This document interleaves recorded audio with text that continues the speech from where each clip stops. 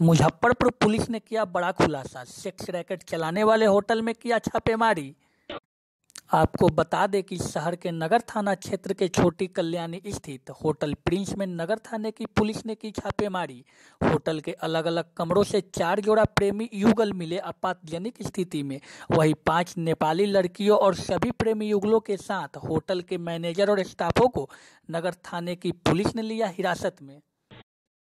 बताया जाता है कि नगर थाना अध्यक्ष को मिली सूचना के आधार पर हुई छापेमारी। मौके पर नगर डीएसपी के साथ महिला पुलिस रही मौजूद। प्रिंस होटल में नगर थाना अध्यक्ष महोदय को कुछ सूचना मिला था कि कुछ लड़के और लड़के यहाँ पे आए हुए हैं। उसी का सत्यापन किया जा रहा है अभी।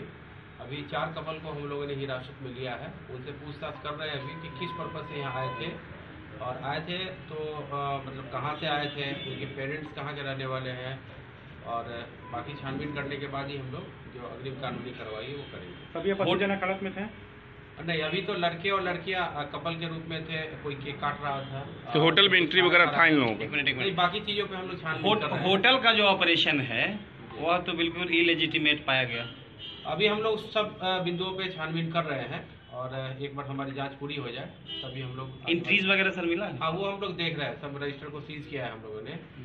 कुछ आपत्तिजनक सामान मिले हैं यहाँ पे उसका हम लोग सीजर कर रहे हैं और अकॉर्डिंगली हम लोग कानूनी कार्रवाई करेंगे। बड़े आदमी का बताया जा रहा होटल। अभी हम लोग को पता कर रहे हैं कि इसके वास्तविक ऑनर कौन है और केयर टेकर रूप में यहाँ कौन थे कौन इनके काम को देख रहे थे उसके बाद ही हम लोग अग्रिम कार्रवाई करेंगे।